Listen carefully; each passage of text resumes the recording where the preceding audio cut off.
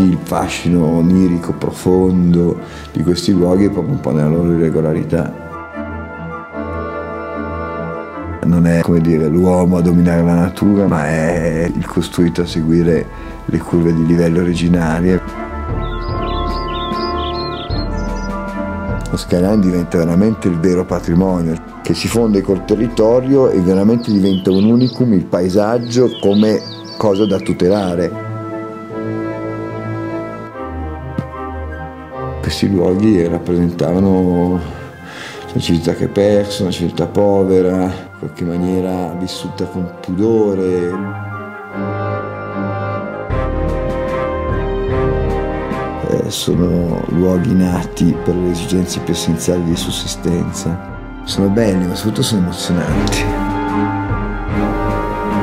In qualche maniera questi sono luoghi senza tempo proprio perché appartengono a questo patrimonio più povero, una cultura rurale, minore, marginalizzata, che non ha subito nei secoli grosse evoluzioni. Poi nel momento che è arrivata la rivoluzione vera è scomparsa, è morta.